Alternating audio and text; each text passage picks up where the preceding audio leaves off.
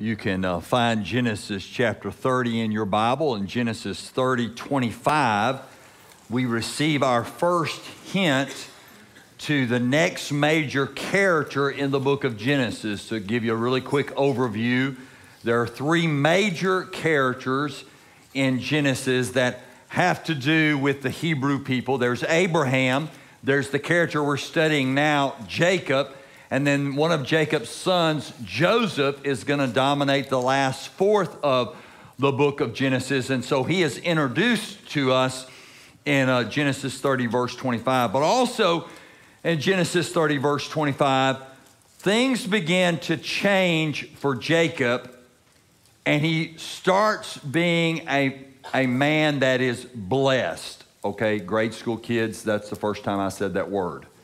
Okay, are you with me now? And so things begin to change. And Jacob is still the trickster, he's still the deceiver. There's still a lot of work that God's got to do in his life. But God begins to start putting these blessings on his life. So let's look today at four things about God's unexplainable blessings. Four things about God's unexplainable blessings. The first one is this God's unexplainable blessings can make us a conduit of blessings to others. Look with me to uh, Genesis chapter 30, verse 25. Genesis 30, verse 25. It says, After Rachel gave birth to Joseph, Jacob said to Laban, and just to remind you from last week, that is his father in law. Jacob's father in law is Laban. Send me on my way so that I can return to my homeland. Give me my wives. I spent plenty of time explaining about that last week. We don't need to go over all that again. Give me my wives and my children that I have worked for, and let me go. You know how hard I have worked for you.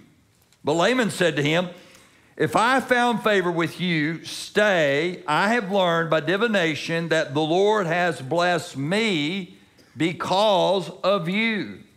Then Laban said, Name your wages and I'll pay them. So Jacob said to him, You know how I've served you, how your herds were, uh, have fared with me. For you had very little before I came, but now your wealth has increased. The Lord has blessed you because of me. And now, when will I also do something for my own family? Laban asked, What should I give you? The principle here is that God will bless others because of us sometimes. It's actually part of the very promise that God gave first Abraham, then Isaac, and now Jacob. And that promise was that through your seed, through your children, through the generations uh, in your uh, line of inheritance, that the world is going to be blessed. And this is going to start with Jacob, blessing of all people, his father in law, who's been rather deceptive and tricky with him up to this point, and he's going to end up blessing him. God sometimes blesses non believers because of us as believers. For example, you may be one of the few Christians in your family. And yet, God may actually protect your family and even bless your family because of you. He doesn't have to, but He might because of you. In your company that you work for, you may be one of the few Christians in that company. And God may actually bless your company because of you and the few other Christians. Because you you conduct yourself in a, in a Christian ethical way because you have a work standard that reflects God well. And because of that, the other people see that and they recognize that their company is being blessed because of you. It could happen with your team or a group that you're with. God may actually bless that group or that team because of you. And sometimes Non believers actually recognize that. That's what happens in this case.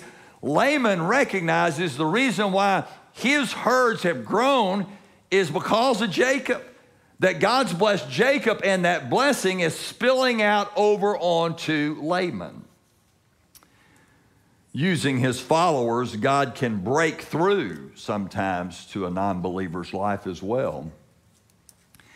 It, uh, Jacob actually agrees with Laban in verse 29, and he says, Yes, you have been blessed because of me.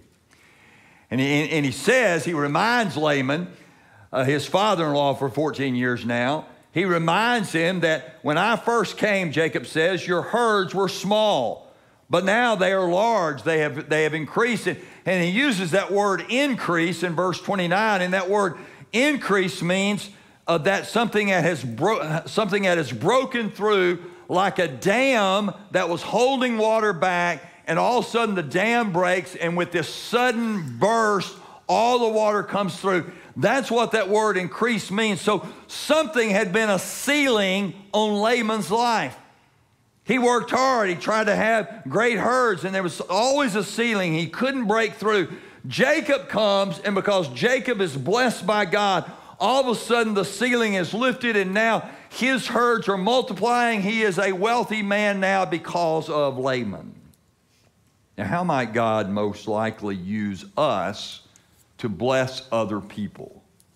Let me make a couple of suggestions. One, when our lifestyle consistently reflects God, people will be blessed around us.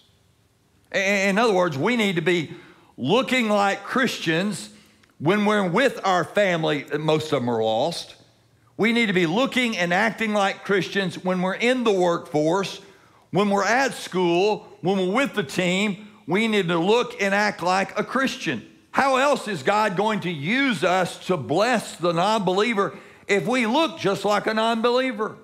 And the, the most difficult situation for that to happen is with our family because our family knows us better than anybody else. They see us at our worst and they remember and they don't forget and they don't forgive very easily. And so sometimes what we have to do with our family, or maybe it's with our in our work setting, or maybe it's in a team setting, and we mess up because we are not going to be perfect. We have to go to that family member, we have to go in that work environment, in that team environment, and we have to say, you know, I was wrong. I want you to forgive me. That was really not the character I want to represent. That's not who God wants me to be, and I want you to forgive me. Because the world is not used to somebody admitting that they're wrong and asking for forgiveness. That actually will strengthen your witness to them and make them respect you even more, and perhaps your group may receive even more blessings. Another thing is that when we are recognized at our family, on our team, or at work. And they recognize our uniqueness. They recognize the, the unique contribution we bring.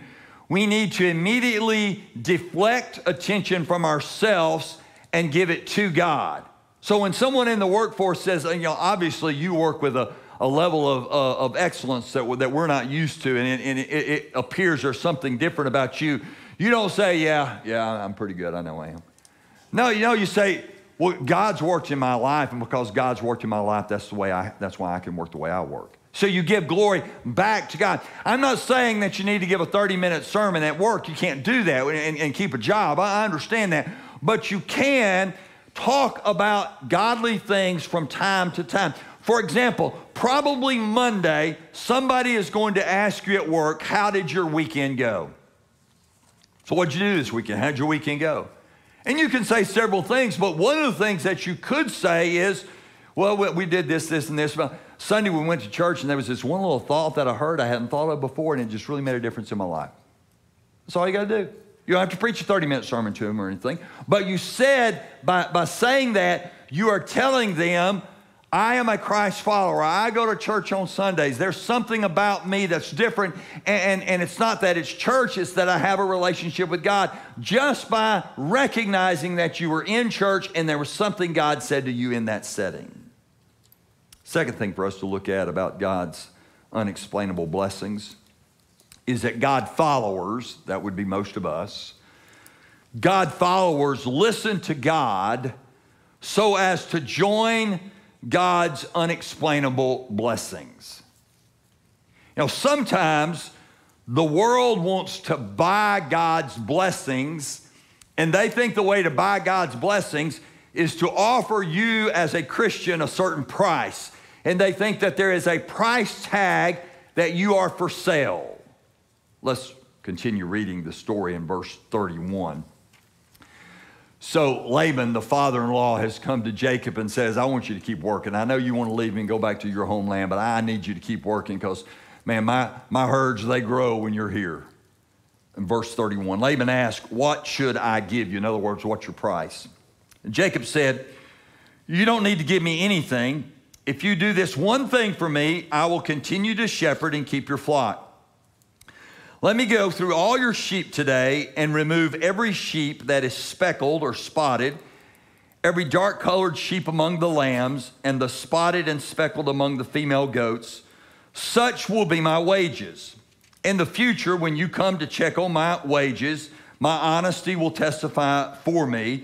If I have any female goats that are not speckled or spotted, or any lambs that are not black, they will be considered stolen. Good, said Laban. Let it be as you have said. So Laban thinks that Jacob has a price tag on him.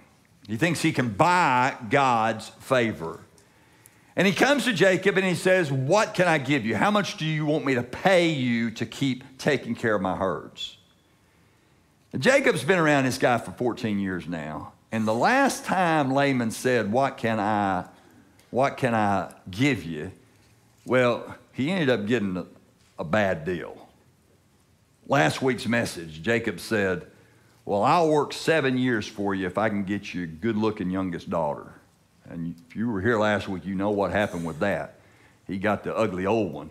And so that didn't work out too good. And he had to end up working 14 years for the woman he wanted to begin with. And so he's probably scratching his head thinking twice when Laban comes this time and says, You know, what can I give you? So he's pretty cautious about what he says.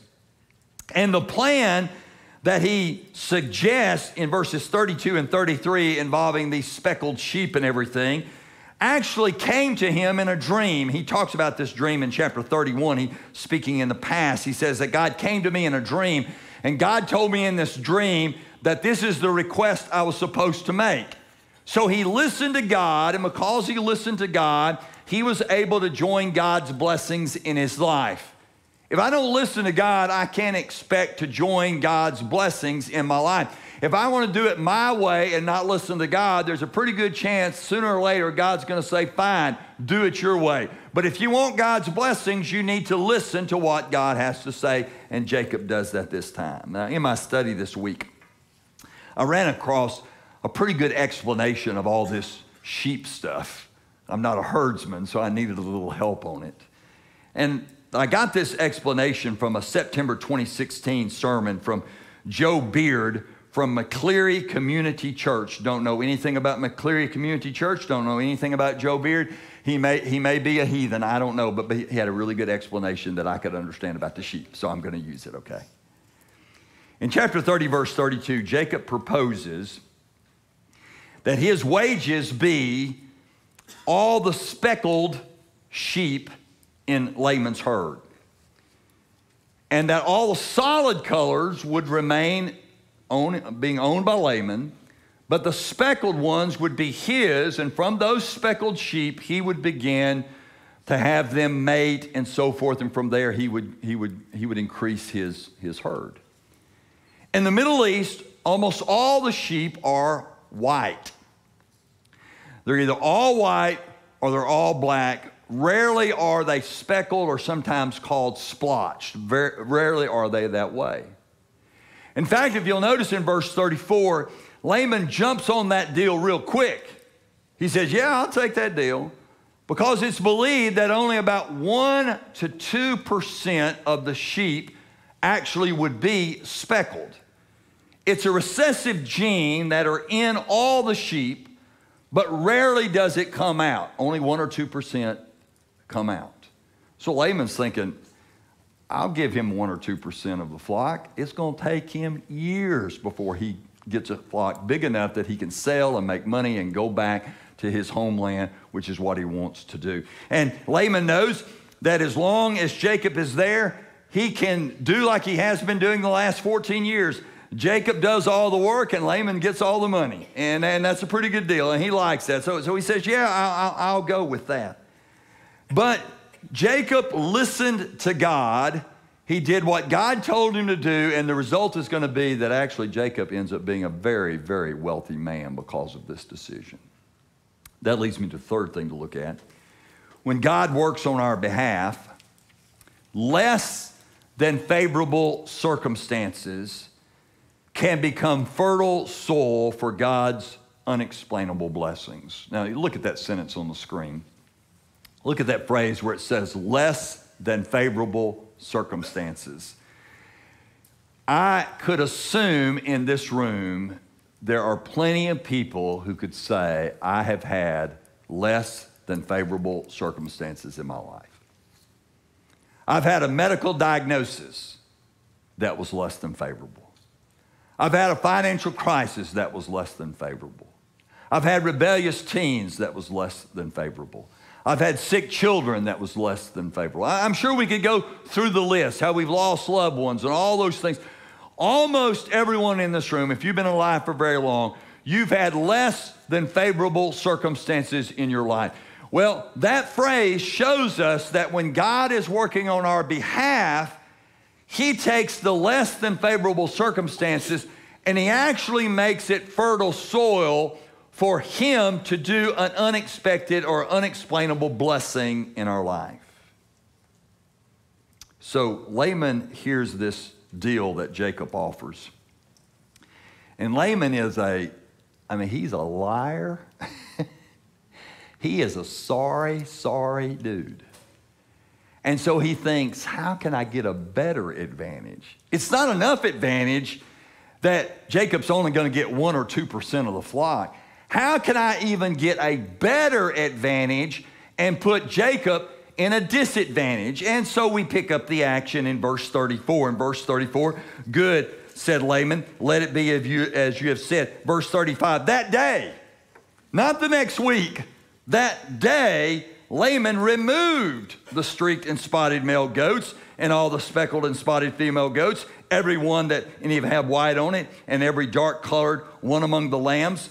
And he placed his sons in charge of them, and he put a three day journey between himself and Jacob and Jacob, meanwhile, was shepherding the rest of Laban's flock. Now, I don't know if you can follow all that or not, but Jacob says, okay, I'm going to take only the speckled colored ones, the, the, the non solid colored ones. Those are going to be mine.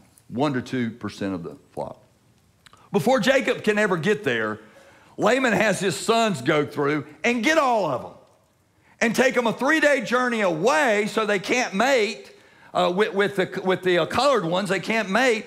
And he takes them away. And all Jacob is left with is solid color sheep. And they're thinking, well, if I got solid color sheep, solid color sheep, how am I going to mate them and get speckled ones? He, he, he doesn't, doesn't know how it's going to work. So immediately, Laban puts him at a great disadvantage. And Laban again has acted uh, deceptively. He's put Jacob at this disadvantage. However, soon Jacob is going to be blessed by God and he's going to become a very, very wealthy man. Because the thing about this recessive gene, as you know with any recessive gene, is you can't see it, but it's there. And it was in every one of those solid color sheep. It's just you couldn't see it. But God knew it was there, and God was going to work it out and bring it out to Jacob's advantage. Jacob, in his own feeble way, begins to try to figure out a way to take solid color sheep and get speckled sheep out of them. So he comes up with this scheme. Now, it doesn't say that God told him to do this scheme or anything, this is just his scheme. He got uh, limbs from certain trees and he stripped part of the bark off of the limb so that the limb looked kind of striped and he would put it in the water trough, and when the healthy sheep would come, he believed that they would see that striped bark, and the result of that would be that their offspring would be striped or spotted or so forth. And so that was the method that he used. And every time there were healthy sheep that would come, he'd put those sticks in the water, and sure enough, they would produce these speckled and striped sheep that were healthy. And every time there was some weak looking sheep that would come up there, he wouldn't have the stripped bark there. So they would produce weak ones and they were all solid color. So what ended up after a few years is that Jacob's crops flock, uh, flock, flock grew more and more and more. And they were strong and healthy, and Laban's uh, flocks dwindled. They were weak and they didn't reproduce well. And they, they had uh, uh, uh abnormalities and so forth with them. And through all this, Jacob is thinking that his plan is working, that his strategy is working good. You know, some try to find some natural explanation for this that Jacob was this great, clever um, herdsman, that he knew that there was something in those trees that made them mate more readily, made them mate uh, more frequently.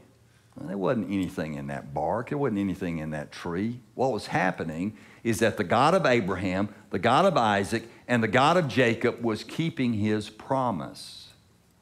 You know, back up in the history, God had already told Abraham, I'm going to multiply you. You're going to be a great nation. He told his son Isaac, I'm going to multiply. You're going to be a great nation. He told Jacob, I'm going to multiply you. You're going to be a great nation. And now God is keeping his word. He's going to bless him. He's already blessed him. Joseph is his 11th son. I mean, that's a blessing. He's going to end up with 12 when it's all said and done. God's already blessed him with children. Now he's going to start blessing him financially with wealth. So, really, the better view of this is not that Jacob was a great herdsman that had some trick. Really, the, the answer is that God took care of things. Now, there are some uh, interesting word plays I want to show you in verse 37, just for your own self edification. I think maybe God is hinting in these words. In verse 37, it says, Jacob then took branches of fresh poplar, a, a poplar tree. Now, that word popular in the uh, Hebrew, which is what the Old Testament is written in, it is a homophone to the name Laban. In other words, the two words sound alike when you pronounce them they sound alike. So poplar tree sounds just like the name Laban. And then the next tree it says he's going to use is an almond tree. And an almond, when that word is pronounced in the Hebrew, is pronounced Luz. And I don't know if you remember that word Luz or not, but Luz was the region where Jacob spent the night and he had that dream with the ladder going up into heaven and the angels were coming up and down. And God says to Jacob, I'm going to bless you. You're going to come back this way. You're going to be a wealthy man when you come back this way. Your family's going to have grown. I'm going to bless you and I'm going to bless others through you. So maybe God is hinting that through this event, he's ready to bless Jacob. Jacob assumes the success is his, but I really have to ask the question there's, there, there, there are two reasons why it doesn't make sense that God would, would bless Jacob. The, the first reason is why in the world would a holy, righteous God bless such a sorry person? Look to the person next to you and say, I think he's talking to you. why, why in the world would a righteous, holy, perfect God bless such an unrighteous person like Jacob? The second question is why would God use some scheme like stripped wood, some gimmick to bless Jacob? Well, the answer to the second question is God didn't use that stripped wood. He just did it himself. And the answer to the second question is because God said, I promise you I'm going to bless you, and God keeps his promises. Thankfully, God keeps his promises a lot better than I keep my promises. If my salvation depended upon me being perfect, I would be lost more days than I'm saved. But because God promises that He keeps me in relationship, my salvation is secure based on God, not based on me. That leads me to the fourth thing. Pride and jealousy can easily show up where God's unexplainable blessings are. So, over the next six years, Laban's flocks dwindle, Jacob's flocks increase. In fact, it says in verse 43, it says, And the man, talking about Jacob, became very rich. He had many flocks, female and male slaves, and camels and donkeys. In other words, his flocks grew so much that he had to hire people, he had to have servants come in and help him take care of everything. He had to buy uh, donkeys and camels to transport the, the wool all, all around the area. So he became quite wealthy. And of course, when one party becomes wealthy, there's some pride that can come up in them. And Jacob's pride was this he was still foolish enough to think that his little gimmick of putting that peeled bark limb in the water was the reason why he was so wealthy. Laban became prideful too, because Laban said, Well, really, if I hadn't given him that start, he, he never would have gotten that wealthy. You know, once someone has a little bit of possession, pride can set in. But another thing that can set in is jealousy. Have you ever noticed something about jealousy? Jealousy is usually centered around comparison. It's one of my beefs I have numerous, but one of my beefs with social media is that it's all about comparison. And it's an unre- unrealistic comparison. Because we're always, and that's true not just with social media, that's true on a Sunday morning. We're always comparing people based on what we see, and all we see is their best. We know all the terrible things about us, but we see somebody else, we only see them in their Sunday morning best. We don't know all the problems they have. We think that they're actually as perfect as what they look on Sunday morning. And we know we're not that good. And comparison always leads to jealousy. That's what happens in this passage. You can go on to chapter 31 just to give you a hint of the jealousy that's going on. In chapter 31, verse 1, it says, Now Jacob heard that Laban's sons were saying, Jacob has taken all that was our father's and has built his wealth from what belonged to our father. And Jacob saw from Laban's face that his attitude towards him was not the same as before. Now, think about this relationship between Jacob and his father in law, Laban. I mean, not, not everyone has a great relationship with their father in law, but most of them's not this bad. Think about this. For the first seven years, he's not even officially the father in law yet. He works seven years so that he can marry Rachel. And I'm sure Jacob is really nice.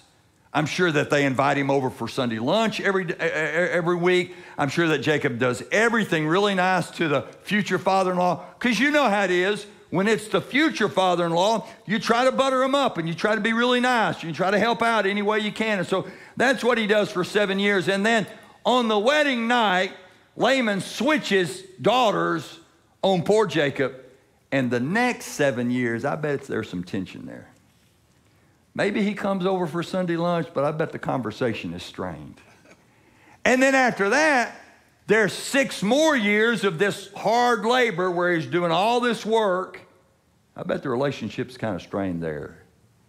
And all ends up being comparison. Jacob's herds are larger, Laban's herds are smaller, and they start comparing. Once you start comparing to somebody else, you'll end up feeling worse about yourself because what will happen is you, you won't compare yourself with someone who has less. You always compare yourself to someone who you think has more, and you'll start feeling less instead of looking at what God has given you. Is it because of these limbs that Jacob put in the water that he was so productive, that his herds grew? Or was it because God worked in that situation? Now, the answer is obviously it's because of God. And Jacob is going to eventually learn that. In chapter 31, verse 5, it says this. In chapter 31, verse 5, it says, he said to them, I can see from your father's face that his attitude towards me is not the same as before. But listen to this.